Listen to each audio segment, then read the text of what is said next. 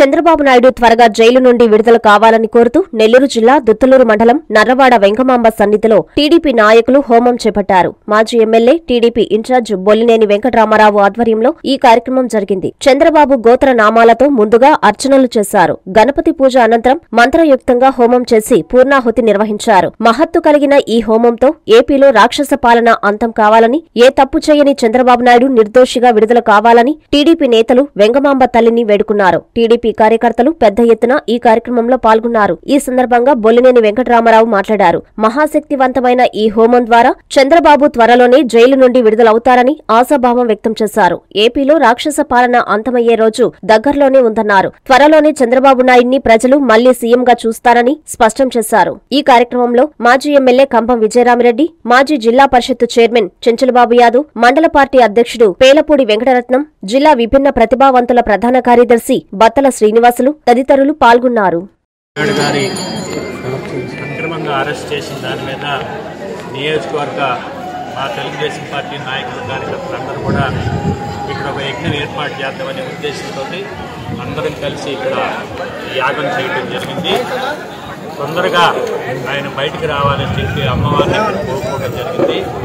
నిర్దాక్షణంగా ఏ తప్పు చేయకపోయినా కూడా ఒక్క రూపాయి అవినీతి లేకుండా నలభై ఐదు సంవత్సరాల నుంచి నిజాయితీగా ఉండేటటువంటి నాయకుడి మీద ఇలాంటి దుర్మార్గ చర్యలు తీసుకున్నారు. ఆయన ఎక్కడా తప్పు చేయలేదు. కోర్టులో న్యాయం జరుగుతుందని మేము ఆశిస్తున్నాం. అడిగిన ముత్యంలాగా బయటకు వస్తాడు.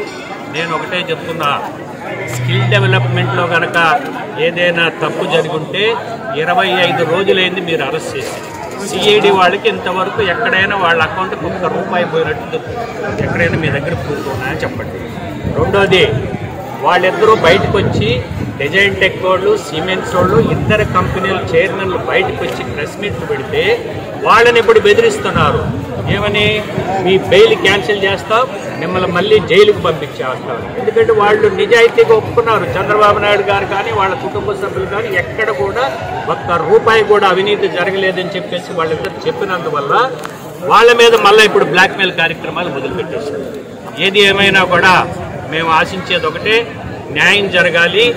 నలభై మూడు వేల కోట్ల రూపాయల అవినీతి చేసి సిబిఐ ఛార్జ్ షీట్ ఫైల్ చేస్తుంటే ఈరోజు నువ్వు పది సంవత్సరాల నుంచి బెయిల్ మీద బయటంటూ మమ్మలా మమ్మల చేయటం అనేది ఇది. ప్రజలందరూ కూడా ఎవ్వరికి కూడా ప్రతి ఒక్కడు కూడా మనసులో ఒకటే ఉంది. ఈ దుర్మార్గుడు జగన్మోహన్ రెడ్డిని ఇంటికి పంపించి చంద్రబాబు నాయుడు గారిని మళ్ళీ ముఖ్యమంత్రి చేసుకోవాలని ప్రతి ఒక్కరి మనసులో ఉంది.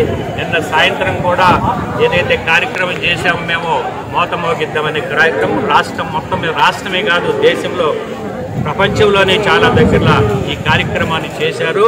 రోజు రోజుకి ఆయన్ని ఎక్కువ రోజులైతే ప్రజలు ఏం చేస్తారో కూడా తెలియని పరిస్థితుల్లో ప్రతి ఒక్కరిలో ఆవేశం ఉంది.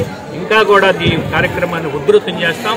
చంద్రబాబు నాయుడు గారు బయటకు వచ్చేదాకా ఇదే కార్యక్రమాలు మనం చేస్తామని చెప్పి తెలియజేస్తున్నాం.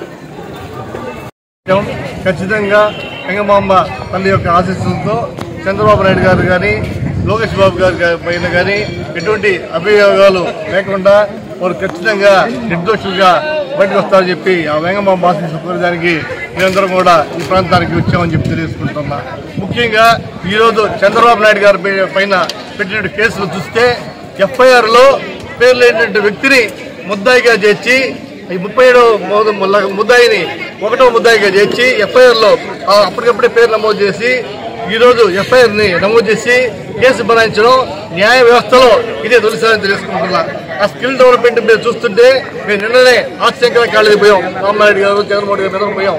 పోతే ఒక్క ఆశంకర కాలేజీలోనే స్కిల్ డెవలప్మెంట్ మీద పదివేల మంది శిక్షణ పొందని చెప్పారు.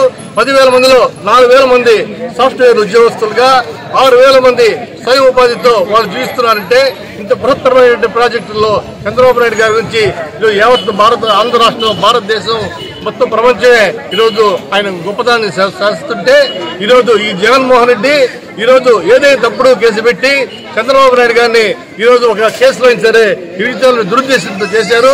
ఎలాగో ఈరోజు రెండు వేల ఇరవై నాలుగు ఎన్నికల్లో జగన్మోహన్ రెడ్డి నా ప్రభుత్వం అధికారం రాదు.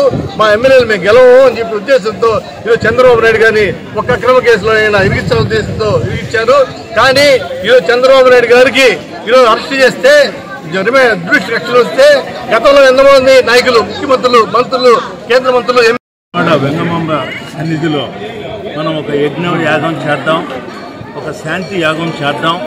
సత్వరమే ఆయన రావాలి మరలా ప్రజా జీవితంలో మన నాయకుడుగా వచ్చే ఎన్నికల్లో ఆయన నాయకత్వంలో ఒక సుస్థిర ప్రభుత్వం వచ్చేదానికి మన అందరం కూడా కంకణం కట్టుకొని కార్యకర్తలు అందరూ కూడా మరి పనిచేయాలనే ఉద్దేశంతో ఈరోజు మన ఉదయగిరి నియోజకవర్గ ఇలవేల్పు వెంగమాంబ సన్నిధిలో ఉదయగిరి నియోజకవర్గ తెలుగుదేశం పార్టీ నాయకులు కార్యకర్తలు అందరూ కూడా వచ్చి ఈ యొక్క అందరూ కూడా సంఘీభావం ప్రకటించి ఈ యొక్క హోమంలో పాల్గొన్న ప్రతి ఒక్కరికి కూడా ధన్యవాదాలు తెలియజేసుకుంటూ